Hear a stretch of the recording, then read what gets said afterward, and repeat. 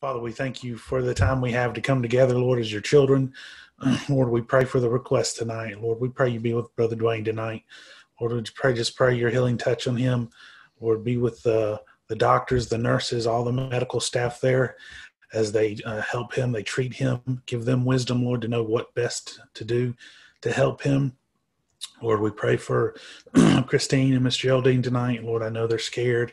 Uh, they're um, uh, concerned, of course. But Lord, we just pray that you would uh, wrap your uh, arms of comfort around them, uh, give them a peace of heart, a peace of mind, even tonight, Lord. Uh, Lord, we pray for uh, Chris's friend, brother Cameron. Lord, continue to be with them that situation. Lord, again, we ask wisdom for the doctors in that situation as well.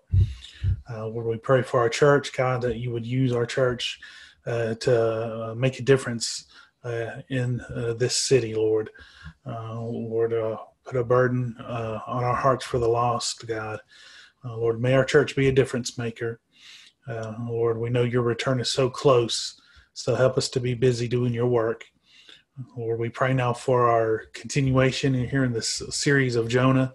Lord, may we learn something afresh and anew tonight. Lord, speak to our hearts, challenge us tonight, God. Lord, just be with us in the days ahead. We pray uh, safety for all of our church members, Lord, with the weather and the snow going on. Uh, Lord, just put a hedge of protection around each and every one of us. Again, Lord, we pray that you're honored in everything that is said and done tonight. And we'll ask and pray all these things in your name. Amen. All right. Turn to Jonah chapter 1, please. I want to talk to you tonight about a call revealed a call revealed. And we're going to look at the first two verses in, in Jonah chapter 1. Kind of gave a uh, introductory um, lesson last week about this verse and um, how it uh, can apply to our own lives. Um, but in these first two verses, we see a call that is given to Jonah from God Himself. So let's look at the first two verses here in Jonah chapter 1. Uh, the Bible says, Now the word of the Lord came unto Jonah, the son of Amittai, saying, Arise, go to Nineveh, that great city, and cry against it, for their wickedness is come up before me. You know, in his book, uh, The Evangelist, uh, Dr. John R. Rice said this, and I quote The trouble is not with the harvest, but with the reapers. Men are lost, but they can be saved Hearts are hard, but they can be broken with the gospel. Sinners are blinded. Sinners are enslaved by Satan. Sinners are even dead in trespasses and sins. But Christ has opened blinded eyes and released the captives and raised the dead before. Sinners are always lost, always hardened and blinded and enslaved. The basic facts about the power of the gospel have never changed. Around the world, in all ages and all lands, the harvest has been white and the laborers few. The harvest is white today. In any particular community, there may be times of sowing and then times of reaping, an ebb and flow of opportunity that has been true in all ages, and it is not different today. But around the world, it is continually the same. Multitudes of people are ripe for the gospel and could be won by the spirit filled, impassioned, and zealous soul winners. The world is white to harvest. It always has been and always will be as long as human hearts are what they are and sin is what it is and the gospel is what it is. There is not trouble with the harvest, the trouble is with the reapers. End quote. And that's what we're facing as a church uh, uh, our own church and the church body as a whole. Uh, the problem isn't with the harvest. The harvest has always been there. It will, it will continue to be there. The problem a lot, a lot of times is, is with the workers, the reapers. And that's what we see with Jonah here. God gives him a direct command. He doesn't even, you know, it's not one of those things Jonah had to study and discern and, and pray about. God says, Hey, Jonah, you need to go to this exact city uh, and and uh, witness to them, preach to them. Um, and of course, we know we'll study in the weeks to come what actually happens. Um, see, much of the the first thing we're going to see tonight is is the commission of authority. This commission that God gives. See, much of our problem today is that we don't allow God to be God in our lives. Um, you know, this is the problem that we see. It tells us in Romans chapter 1, it says this because that when they knew God, they glorified him not as God. Um, a lot of times we're like the people in Second Kings chapter 17. It says they feared the Lord and served their own gods. Man, we see that so much in our churches today, y'all. People say, "Yeah, you know, I, I love Jesus, I, I follow Him," but their lives don't show that. See, whenever I see that, that raises those red flags to me. Uh, it makes me think, is is that person actually saved? I, I know they say they are, they claim to be, but their lives don't reflect it. Worse yet, we have made ourselves gods, if you will. And like the people in the book of Judges, in Judges 21, it says this, and man, how fitting is this verse for even our day and age? It says, Every man does that which is right, which was right in his own eyes. Um, you know, it's it's it's one of those things where again, even in our churches, people are doing what they think or what they they want to do. Okay, um, you, even if you uh, try to approach them as a, a, brother or sister in Christ and say, "Hey, you know, you, you shouldn't be doing that," you know, Scripture tells us that. Uh, what happens sometimes? Sometimes they'll say, "You know, let me do what I want to do." You know, let me uh, interpret scripture the way I want to interpret it. You know, you hear that sometimes as well. But God lays out very specifically what He wants us to do, just like He did with Jonah. Uh, again, there was no ifs, ands, or buts about it. Jonah, I want you to go to this specific city, and this is what I want you to do when you get there. Um, we'll see here, first of all, God's voice discerned. Here's an interesting question Do you recognize God's voice? Do you? Now, of course, we know it's not an audible voice in our day like it was in Scripture sometimes, but God does speak to us. How does He do that? It's through and by the Holy Spirit. Um, think about this question: Can you pick it out in the midst of a, in the middle of a world of voices shouting at you? You know, I've said it before. This world is is trying to distract us on every side. You know, with voices or whatever analogy you, you want to use there. Um, but can we pick out God's voice among the, the, the distractions of this world? Can we fine tune, if you will? I remember years ago, uh, my dad, uh, a couple of our vehicles, we had CB radios. I'm sure y'all remember those. That was before cell phone days. So we would use the CB radios on our trips. And sometimes you had to you had to fine tune that, just get it just right so you could get that uh, you could hear uh, the transmissions from the other uh, cb radio uh, guys. Um, but you had to fine tune it just right so you could hear it. If not it was just a bunch of static. Well here in acts in acts chapter 9 we see saul. He's on the road to damascus to do what? To persecute the christians right? Um, and as he is making this journey this is what the bible says says he came near Damascus, and suddenly there shined round about him a light from heaven. And he fell to the earth and heard a voice saying unto him, Saul, Saul, why persecutest thou me? And he said, Who out who art thou what? He says, Who art thou, Lord? He answers his own question, doesn't he, when he says that? You see, he he had been hearing that voice for a long time. And no doubt he heard it speaking to his heart uh, when he was there witnessing the stoning of Stephen in Acts chapter 6. See, a, a wise man or a wise woman will have an ear that is attentive to God's voice and a heart that's eager to obey, obey that voice. See, we should be uh, chomping at the bit, as it were, to be active in service for the Lord. Um, Psalm 95 says this today, excuse me, today, if you will hear his voice, harden not your heart. Be listening for God's voice in your life, in your Christian walk. Then the next thing we see is God's vision is determined. Have you ever met somebody who talks because they're nervous or because they get they're uneasy with silence? You ever met anybody like that? I, I have. I've known people like that. uh, you know, they don't have much to say other than just kind of idle chatter, right? Just to kind of fill the space. That's never the case with God. See, when God speaks, he he does it with a purpose.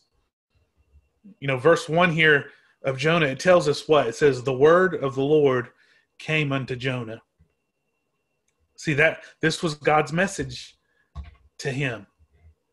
See that there's nothing more frustrating than being in the middle of an important conversation with somebody on the phone when what happens sometimes the call suddenly dropped, right? You lose that connection. Um, why? Why does that happen? Sometimes it happens because our batteries die on us, doesn't it? You know, we didn't charge our phone the night before, or, or for whatever reason, our battery has drained, and then all of a sudden the phone dies, and that phone call is dropped. We lose it. And make make sure tonight, Christian, make sure your spiritual battery is always charged. And be sure to stay close to God, um, that is within range of His voice so that his call on your life isn't dropped, if you will. The second thing we see in our text tonight is a call for action. God gives Jonah a call to action here. There's three action words that are found in verse 2. They are arise, go, and cry. Those are the three actions God tells Jonah to do. Jesus reminded us in John in, in, John 13, he said, If ye know these things, happy are ye what? If ye do them. See, we know the things God wants us to do, just like Jonah did. He knew what God wanted him to do. It was a direct command go to Nineveh and preach to these people. see, we know what God wants us to do, Christian, but a lot of times we don't do them. And because of that, we're not happy and some of the most miserable miserable people I've met in my lifetime are Christians who know God wants them to do something and they haven't done it or they refuse to do it. They're miserable. Man, you don't want to be around them. That's how bad they can be sometimes. But with God's call to action, there's three things we need to look at. The first one is it's it's time to wake up. Someone wisely said one time, the church is a sleeping giant and that's true. You know, we we have all of the power of the universe on our side, but we've fallen asleep. Isaiah 56 reminds us of that. It says, His watchmen are blind. They are all ignorant. They are all dumb dogs. They cannot bark, sleeping, lying down, loving to slumber. Well, what happens in the New Testament? In Romans 12, or excuse me, Romans 13, Paul sets the alarm clock for us, if you will. This is what he said. And that, knowing the time, that now it is high time to awake out of our sleep. For now is our salvation nearer than when we believed. The night is far spent, the day is at hand. Let us therefore cast off the works of darkness and let us put on the armor of light. So it's it's time for us to wake up, church. It's time for us to get out of our spiritual slumbers. Um, I mean, how right was Paul here when he says, "For now is our salvation nearer than when we believed." You know, we talk about Jesus's return being so close, and it is. It's not just something to say to fill uh, a portion of a sermon or whatnot. Man, his return is so close. We need to wake up out of our sleep. The second thing that we need to do, we see that it, it's time to walk. Okay? And again, in Romans 13, Paul continues the challenge. This is what he says He says, Let us walk honestly as in the day, not in rioting or drunkenness, not in chambering and wantonness, not in strife and envying, but put ye on the Lord Jesus Christ and make not provision for the flesh to fulfill the lusts thereof. See, nobody will listen to us if we do not live what we preach. And I'll give you an example of that. There's a family, not in our church, but family I knew years and years and years ago. The parents would come to church, uh, but the kids wouldn't. Well, why would that happen? Well, basically, the parents weren't living what they proclaimed during the week. You know, they, they come to church, they put on the good show, they put on the spiritual mask, the Christian mask, you know, and do all the right things at church. But during the week, when no church members or, or the preacher was around, the, the kids saw how they really were. And when that happened, when the kids got older, they didn't want to have anything to do with church. They never came to church. They weren't interested in any of that. Man, how sad that is. People are watching us.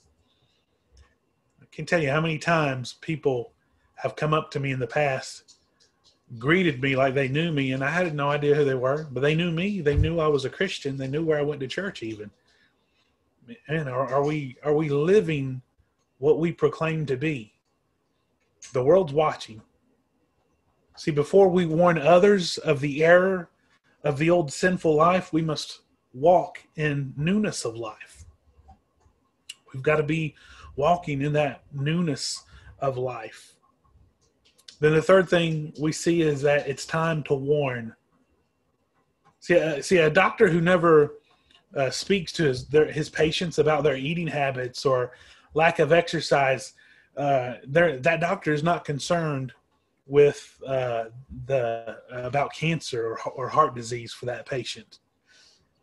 So even so, we must warn others about their sin if we are truly concerned um, about their souls. Isaiah 58 tells us, it says, Cry aloud, spare not, lift up thy voice like a trumpet, and show my people their transgression and the house of Jacob their sins. That's us. We are the ones that need to be crying out loud. Don't spare not, it says. It means don't hold anything back. Let it go. Don't be ashamed. Tell the truth. Tell what it says in scripture.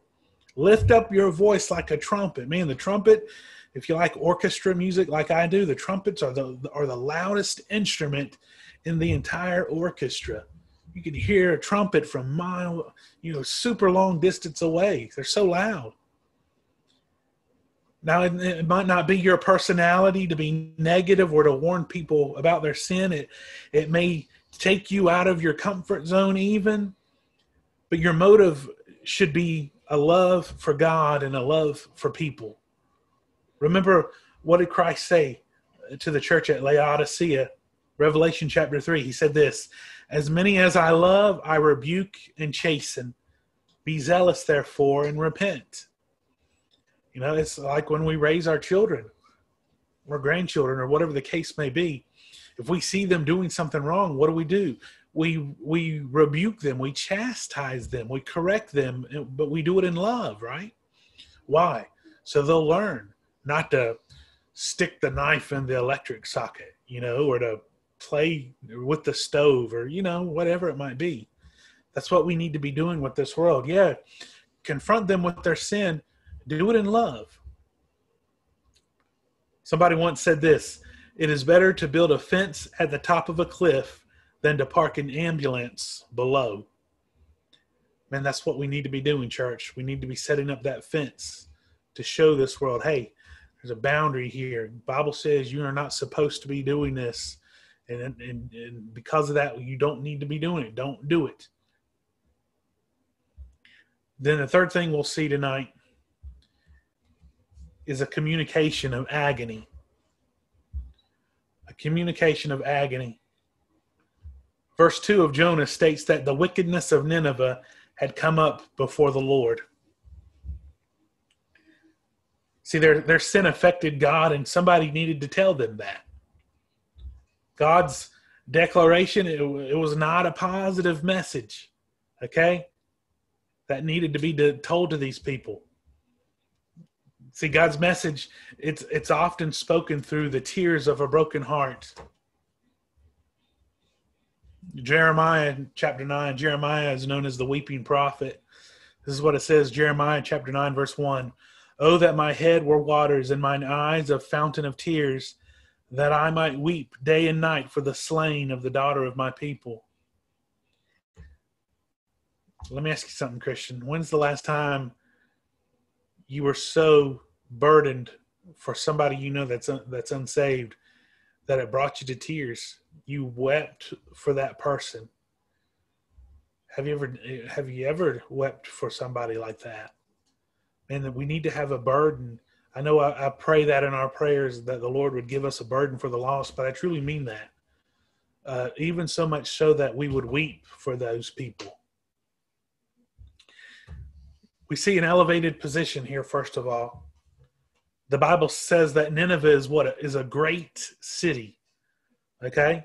And that was certainly it was reference to her size okay? But also to her influence see often god's blessings are taken for granted when things are going well we think that we don't need god right you know, things are going great, Lord. You know, I don't need you. Um, things are going fine. I'm handling everything on my own, no problems. But something interesting here. Moses feared amnesia among the people of Israel. He didn't want them to forget the Lord in, in times of abundant blessing.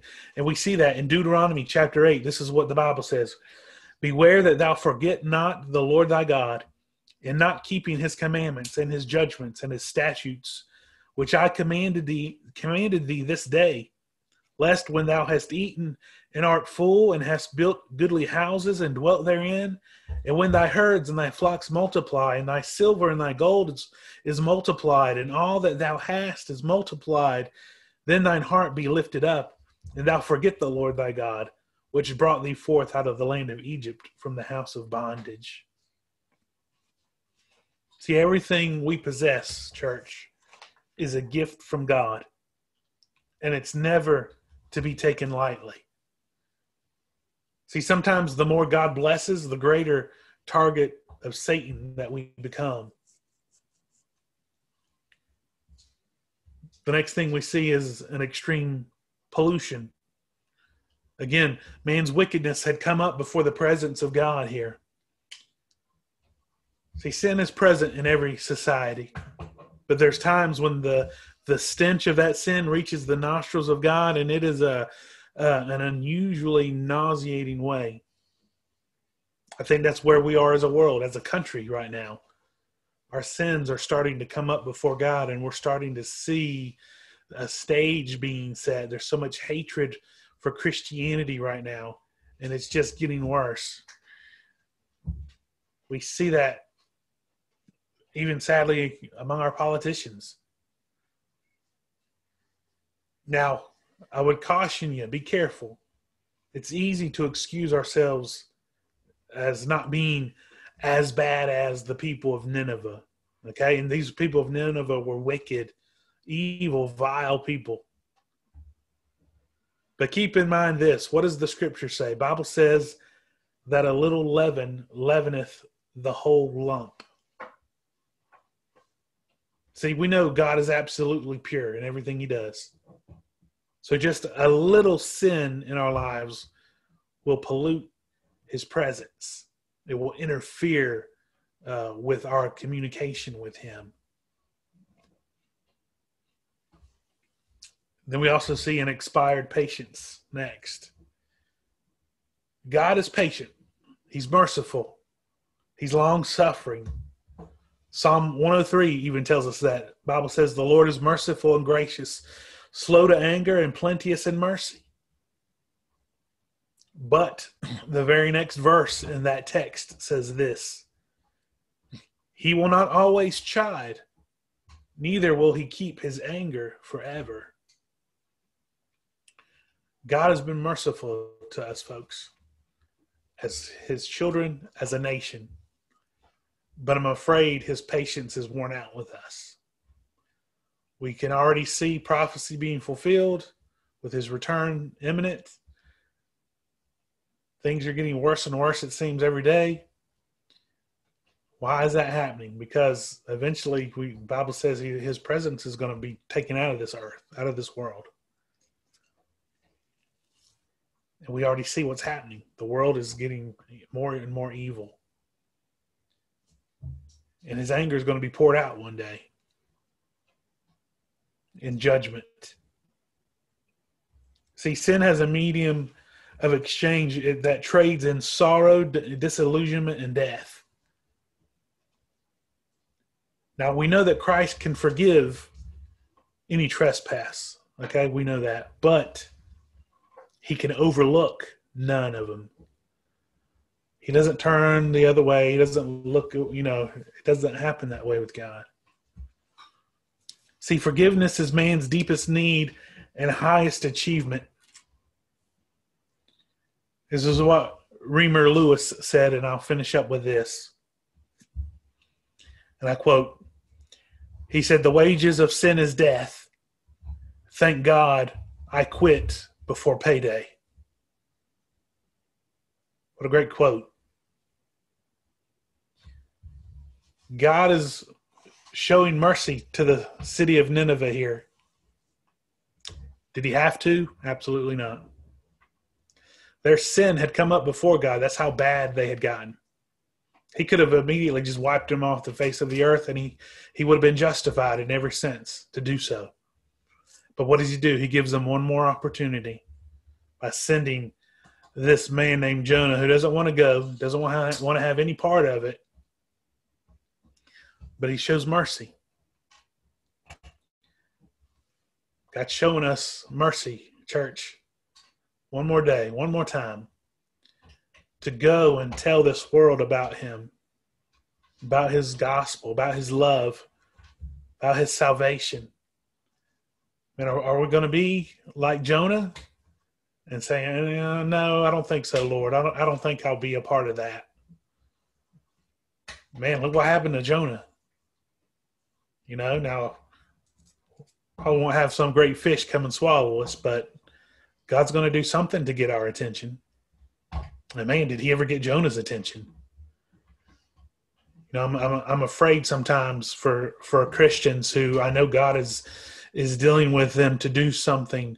God has called them to do something, and they're they keep rejecting it and saying no. Or um, um, even thinking of unsaved people who I know are under conviction for their sin. God is is convicting them and to come and get saved. And what are they doing? They're saying no, I don't want to. They're putting it off. I said this to a young lady one time who still has not received salvation. This was back in North Carolina. I asked her, I said, young lady, I said, what is God going to have to do to get your attention? You know, he's already taken your husband. You know, is he is he going to take your little girl next? What's going to happen? And what is he going to have to do to get your attention? That's our question. That's what I'm going to leave us with tonight, church. What is God going to have to do to get our attention, to get busy for Him, to be witnesses for Him, to be inviting people to church, to be winning souls? Man, He wants us to get busy about His work. I mean, don't be like Jonah. Don't say, no, God, I'm not interested.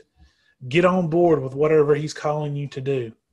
Man, God wants to use us. He wants to use our church. I'm excited for us in the days ahead. Man, God, the, the stage is being set for the Lord's return, and the church needs to get more on fire than ever before for the Lord. People are looking for answers. And we've got the answer. His name's Jesus. So let's be sharing that answer with our fellow man. All right? Let's pray, please. Lord Jesus, again, we thank you for what we've heard tonight. Lord, I pray tonight, Lord, if you're dealing with someone, uh, whether it be in service to you, Lord, or in salvation, God, that they would turn to you, they would answer and, and uh, follow you, do what you would have them to do. Lord, let us not, don't let us be like Jonah. Help us to be listening for that still small voice, that command, whatever you would have for us to do. Lord, again, I pray that you would put a, a burden on our hearts for the loss of this community.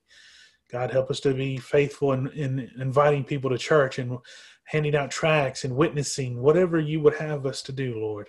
Help us to be faithful to do it and always to be saying yes. Again, Lord, we pray for the the request tonight that you would just meet the needs there, the physical needs, Lord. And again, for Brother Dwayne, just be with him tonight. Continue to bless him, be with his doctors to help him uh, through this uh, COVID battle. Lord, we pray for our service Sunday. Pray you, you would use it to bless and speak to hearts. Uh, Lord Jesus, we love you and we ask and pray all these things in your name. Amen.